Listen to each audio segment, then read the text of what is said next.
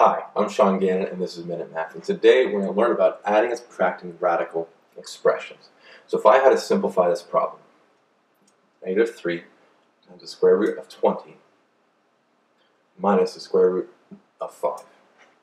Well, my goal here is to see if I can get both of these to have the same square root. So square root of 5 can't really break down anywhere, but 20 can. So I'm going to see if I can make 20 have a 5 in it. Well, 4 times 5, right? So if square uh, negative 3, sorry, times the square root of 4 times 5.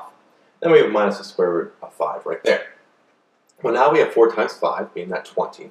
So multiplication inside of the square root, we can separate that. So we have negative 3 times the square root of 4 times the square root of 5, multiplication there, minus the square root of 5. Okay? Well, we can simplify a little bit now. Square root of 4 is just a 2, so we have negative 3 times a 2 times the square root of 5 minus the square root of 5.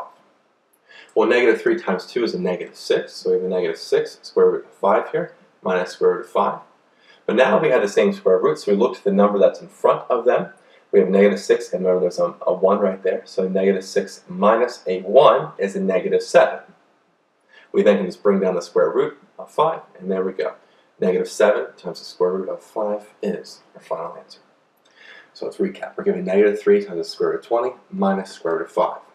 20 I can break down to be 4 times 5. Okay? Then from there, I can break that apart to that square root of 4 times the square root of 5. Well, square root of 4 is just 2, and negative 3 times 2 is a negative 6.